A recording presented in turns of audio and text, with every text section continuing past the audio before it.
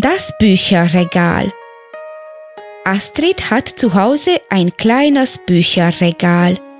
Sie hat Märchenbücher, Comichefte, Sachbücher und Kinderromane. Sie mag am liebsten Märchen. Astrid liebt ihre Bücher. Wenn sie ein wenig Freizeit hat, nimmt sie ein Buch aus dem Regal und liest es. Sie liest sogar ihrem kleinen Bruder Märchen vor, bevor sie ins Bett gehen. Astrid leiht sich oft Bücher von ihren Freunden und aus der Schulbibliothek aus.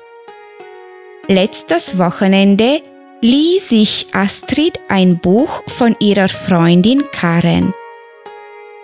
Im Buch ging es um einen großen Kater, der einen rot-weiß gestreiften Hut und eine rote Fliege trug.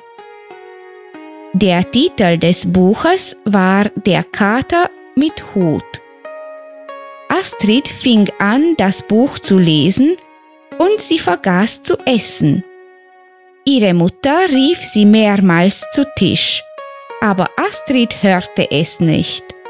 Sie las weiter, bis sie das Buch fertig las. Astrid liest gerne, denn sie erweitert dadurch ihre Kenntnisse. Durch das Lesen großartiger Bücher entdeckt Astrid viel Neues und wird kreativ.